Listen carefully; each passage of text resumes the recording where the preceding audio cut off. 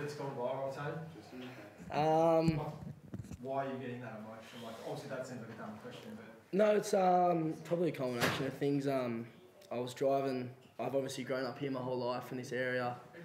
Um, my father played a lot of footy here, and I played all my junior rugby league, and just down the road at Blackmore Oval, and I've probably kicked you know thousands of balls at like number two.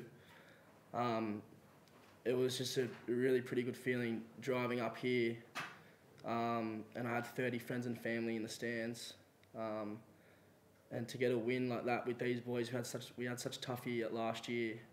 It was just probably a bit too much emotion for me to handle. Um, but I'm I'm glad like I'm not you know annoyed that I did it. Um, it's just been a tough road for these boys and to get a win and then for me to get a win like that against probably the best team in the world in front of my friends and family and on a field that I've grown up playing at was just amazing and I was just a bit lost for words.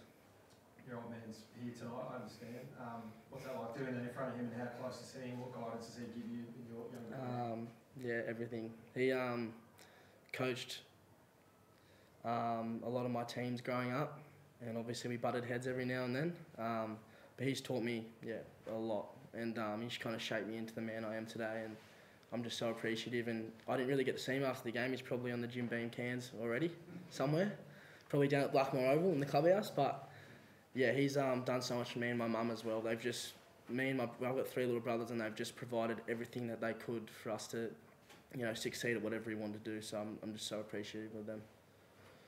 What was the energy like out there tonight? Because it felt, I remember up the top of the stand here, it was rocking up there. Mm. What was it like out on the oval? Yeah, it was amazing. Um, to have that, I've never played in front of that many people before. Um, yeah, I was. It's, it was new for me. Um, but yeah, again, so appreciative of, the, of those fans. They're just amazing, especially after the year we had last year. For them to be rolling in in those numbers, um, I'm, I'm so glad that we could put on a, a good performance for them. And right at the start, mate, it was route one footy, you took the ball off the scrum and just headed straight forward. Yeah. A bit like your old man would have. Yeah. And he was carting it up. Um, was that just spur of the moment? Was that the play? And how did that unfold? Um, I'll, I kind of feel like I play my best footy when I have a kind of a run first mentality. So I just wanted to kind of get myself in the game early.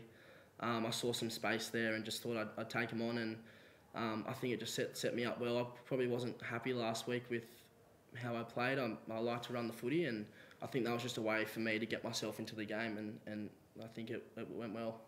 When you were growing up, I imagine you probably wanted to play for the Balmain Tigers or West Tigers. You watched clips of your father playing and Mm. whatnot. You know, when did you commit to rugby and when was the transition made? Um, probably year- year 12. Um, I played cricket, surprisingly, at Trinity Grammar School, mostly cricketer growing up, um, and was playing rugby union. And then le- I played league since I was six years old down at Leichhardt Wanderers. Um, it was probably around, yeah, year 12.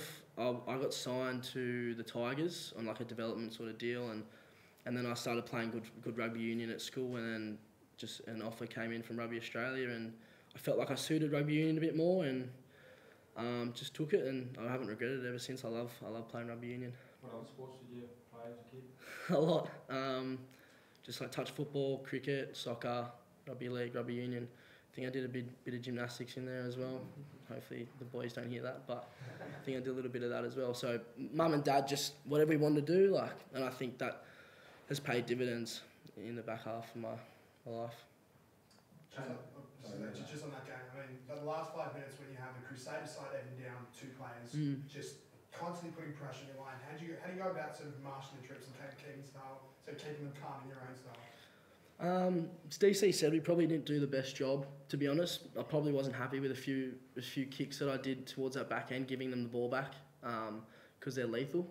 So we probably could clean up a few things around that, just having a more controlled kick, even kicking those balls into the stands, making sure they go out. Because even if it's a good kick, they still do like quick line out and they, they're back on the attack. So probably can clean up a few things um, in that back 20 minutes with our, with our kicking game. But um, to be honest, I, I don't think we may not managed it overly well. I think it was just that tar tough stuff that DC was talking about. Charlie Gamble getting on the ball was amazing, um, saved our bacon there. So I think it was more our defensive effort that, that kept us in it, not so much the game management. Is this when Sweden, given what happened last year, you were there, Mm. playing a whole little bit at the end, but uh, like paint a picture in the room there for the guys who dealt with last year. Yeah, it's um, a good change room to be in at the moment. Um, last year it was just, yeah, it wasn't. Overly fun. But as we've said, I've heard many times, we just stuck by each other. There wasn't once where you know boys were turning on each other. We stayed really, really tight, and I think that comes from being a young group. We all get along extremely well.